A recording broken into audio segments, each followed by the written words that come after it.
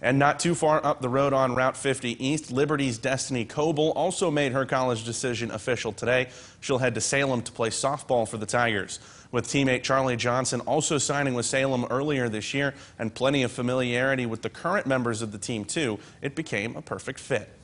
It's very nice. I'm glad to go into a team where I know some of the girls and also get to like meet new people too.